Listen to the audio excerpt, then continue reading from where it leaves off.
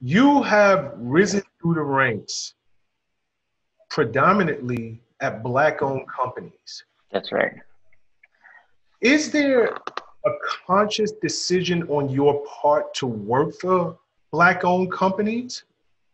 And if that is the case, do you plan to stay in these companies in, in, in the future of your career or as you get a little older because you're still such a young man do you plan going mainstream or setting out on your own and becoming yeah. an entrepreneur yeah, um, that's a great question. So I can absolutely say it was not intentional, right? I stumbled into Global Hue, and that's my first kind of break in the kind of cultural marketing. Loved it.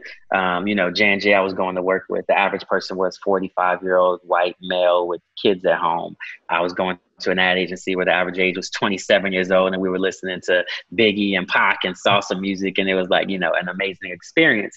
As I leave Global Hue or think about leaving Global Hue, I say I'm never going to do black again. It's such a hard sell to try to convince white folks at the top to believe in the power of black culture and black people.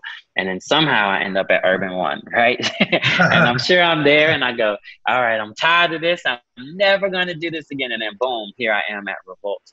Um, so it is absolutely true that um, I care about my people and my culture.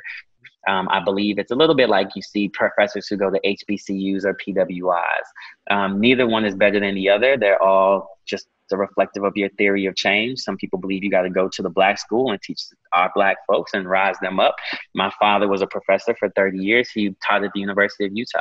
He taught white kids about black culture. His theory of change was if I teach them about black people here, they will be better leaders and better to us growing up. So it's just about your theory of change. So I would say my theory of change for the last 15 years has heavily been rooted in um, Black culture, trying to make sure that the people who are responsible for creating this global culture that we love um, get the love and economic reward for their genius that they deserve. Um, I am happy right now fighting for the side of the culture um, because I think we need people on this side doing the work. You also need people on the other side um, because those people need the green light budget. So again, everybody's important, just different theories of change. Got you, got you. Let's go. I found a book for you if you want it. Oh, please, please. It, it's called Empowering Yourself The Organizational Game Revealed by Harvey J. Coleman. Empowering Yourself The Organizational Game Revealed, Harvey J. Coleman. If I remember right, it's basically a brother who was passed over for three years at Xerox, even though he was the top performing person in his department. And again, this is how he realizes it's not just merit, it's, uh, it's these other two pieces that I haven't been playing the game with. And he decides to play the game and then finally gets the promotion. Wow. Yeah. Should, should, we start reading that book first before? Uh, I think you can read the cliff notes on this book. Got you. Once you have the framework, once you have the, I think you're good. What's up guys? Thanks for sticking with me to the end of the video. Truly appreciate you. If you like anything you heard here today, go ahead and hit that subscribe button. And if you know anybody that can benefit from this message, feel free to share.